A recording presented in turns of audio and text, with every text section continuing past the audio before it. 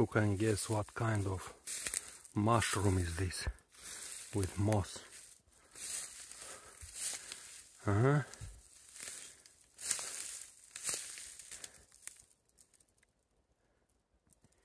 It can scare the crap out of you.